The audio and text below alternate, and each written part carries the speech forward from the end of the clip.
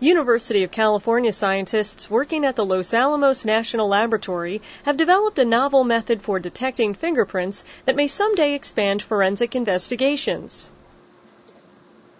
Analytical chemist Christopher Worley says the technology detects chemical elements left in fingerprint residue, such as salts excreted in sweat. The method is called micro X-ray fluorescence, or MXRF. So what we're using is X-rays, and they're invisible. But what we do is we take a, a tiny thin beam of X-rays, probably the diameter of on the order of a human hair, and hit the surface with this X-ray beam. And then from the spot that's hit with the beam, it emits X-rays from the chemical elements present in that spot.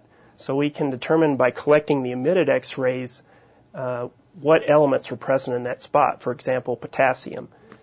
You then move that spot across the surface and you get the distribution of whatever elements are present, like potassium, across the surface. So potassium chloride, for instance, in fingerprints is found along the fingerprint pattern, and we actually see that pattern based off of the emission of potassium X-rays from the fingerprint pattern.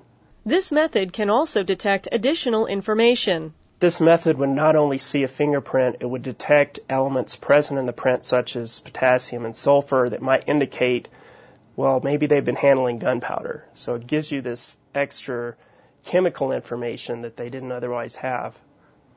Current fingerprint detection technology depends on treating fingerprints with different chemicals that help bring out prints against the color of the surface it's located on. But this method can sometimes be problematic. Certain surfaces are known to be more difficult to detect fingerprints with the current methods. For example, prints left on homicide victim skin are hard to detect with current methods.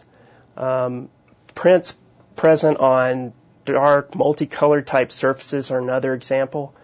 And so this method gives a new alternative to potentially detect fingerprints based off of those chemical elements that are already present in the print on some of those more difficult surfaces. The MXRF technique has limitations right now. But what we're doing here is is just a, a preliminary study to show it's even possible to do, and certainly with enough funding and and and development work, I, I can see us improving this to the point where we start using it routinely in, in labs. For Science Today, I'm Larissa Brannon.